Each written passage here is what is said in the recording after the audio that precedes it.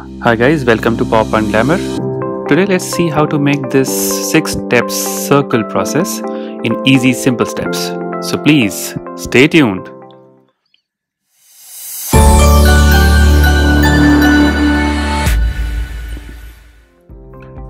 Okay, let's start with inserting a circle, a hollow circle like this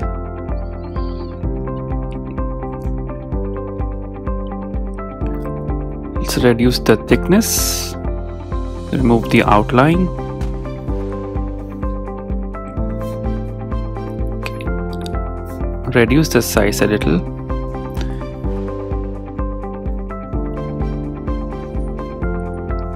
Fill it with this color.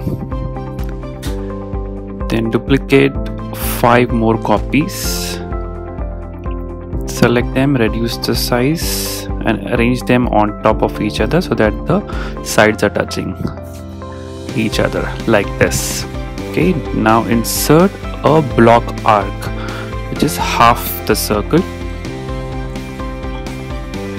So the thickness the size should be the same as the circle inserted earlier. Okay alright this half circle is ready.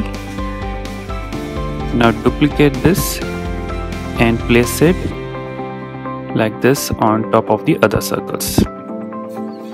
Then change the colors. Okay that's it. Then again duplicate this part and reduce the size half of it. Reduce it to half and then fill it with this color okay now let's right click and go to format shape. Then increase the transparency of this shape. Okay. All right then place it here. Great. Now select this and place it on the other circles as well. Here okay copy rotate it replace it on the bottom half here. Okay so do the same for the remaining part of the diagram here duplicate place it here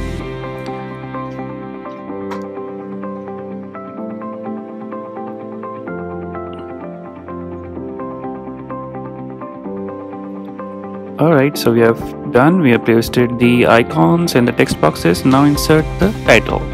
So that's it guys. Thanks for watching. Please make sure to like, share and subscribe. Bye bye.